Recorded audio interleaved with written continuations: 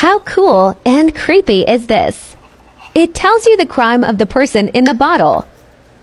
For the sake of my children, I begged for mercy. But the judge showed me none. I was sentenced to seven years.